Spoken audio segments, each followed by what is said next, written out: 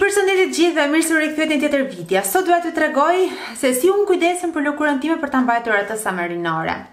Në fakt procesi i plakjes është diçka të cilën ne nuk e ndalojmë dot, por që ama mund ta bëjmë që të plakemi sa më me lezet. Dhe unë jam e re. Dhe ju do thoni që ç'lidhje ka uh, ti Fytyrë rinore, sepse unë më e freskët se sot nuk do jem ndonjëherë. Por ka diçka. Se si ne kujdesemi për fytyrën sot, ose se çfarë i ndodh fytyrës tonë sot, nuk pasqyrohet fiks tani në këtë moshë që unë kam.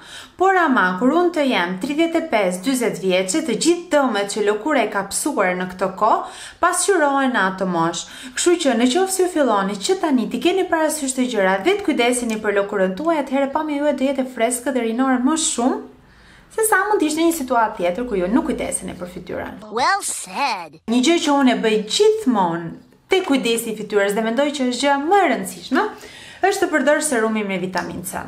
Në fakt unë po përdor serumin e Dermaceutic me vitaminë C, kjo është kështu e gjitha si pasqyrë dhe nuk e shikoni mirë. 30% uh, vitaminë C është më e larta që kam përdorur ndonjëherë dhe ka tre forma për të qenë sa më aktive sepse vitamina C oksidohet shumë lehtë dhe është Shumë pak e qëndrueshme. Vitamina C është shumë e mirë për lëkurën, se ka efekt antioksidant, nuk lejon krijimin e radikaleve të lira dhe nuk lejon shfaqjen e rrudhave të reja në lëkurë.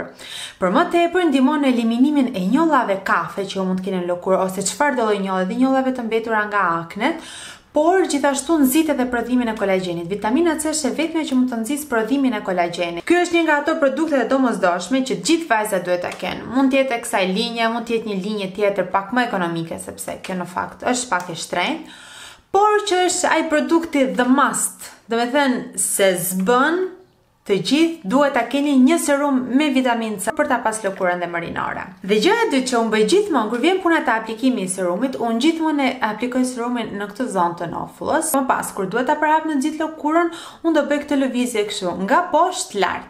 Dhe duke bërë kështu, jo vetëm që ndihmoj në përhapjen e serumit në gjithë fytyrën, por Eci edhe kundër forcës së gravitetit. Arsyeja pse lëkura bie është sepse për forcën e gravitetit që na tërheq gjithmonë drejt tokës, lëkura shkon gjithmonë kështu, për poshtë.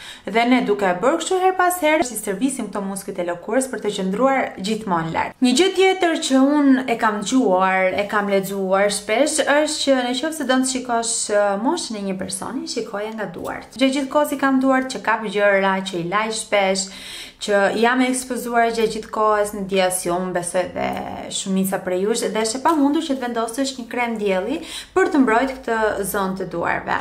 Por, çfarë mund të bëni? Me serumin me vitaminë C të fytyrës, unë çdo darkë para se të fle aplikoj dy pika vetëm këtu tek duart dhe masazhoj, sepse efekti i serumit është shumë i mirë dhe jam e sigurt që më ndihmon edhe tek duart.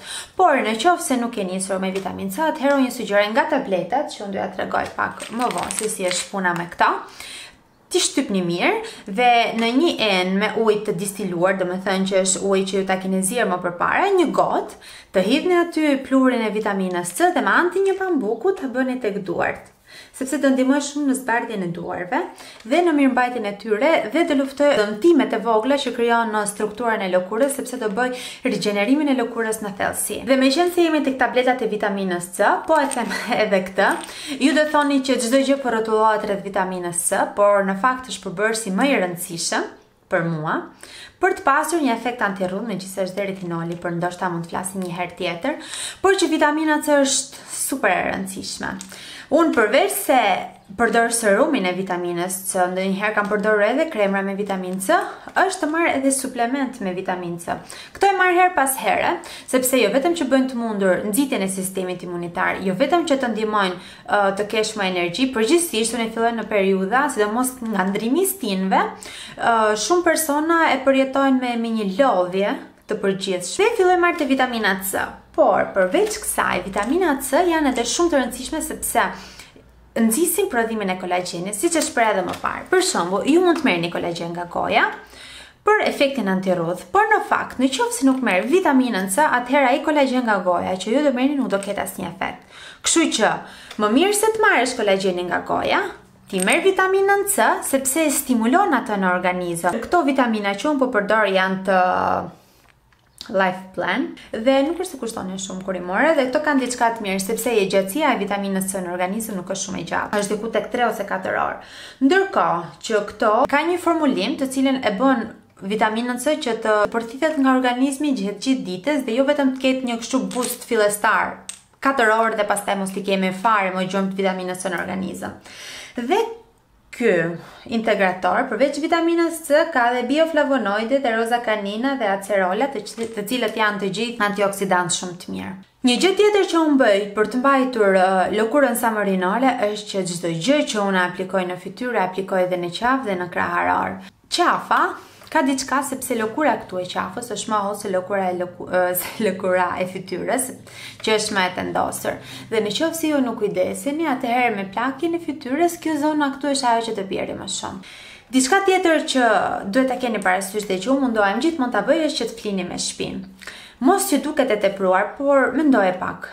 Ti flen çdo ditë e jetës tënde. Dhe në qoftë se flen me fytyrë nga jastëku, do kesh gjatë gjithë kohës faqet që ikin kështu, do krijohen rrudha, do zgjohesh me me sy të fryrë, do krijosh dëmtime të lëkurës dhe të gjitha këto mund të evitohen shumë mirë duke fjet me shpinë. Është pak e vështirë.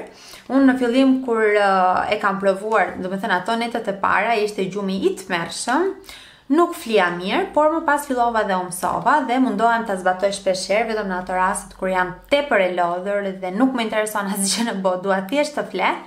Vetëm në ato raste shkel, se më pas kur jam një njeri normal, mundohem të fle gjithmonë me shpinë, sepse jo vetëm që flokët më qëndrojnë më mirë të nesërmen, jo vetëm që më bën mirë dhe për kraharorin për të evituar ato rrudha që krijohen te kraharori, por edhe për fytyrën sepse lëkura është gjatë gjithë kohës e tendosur dhe nuk krijohen rrudha.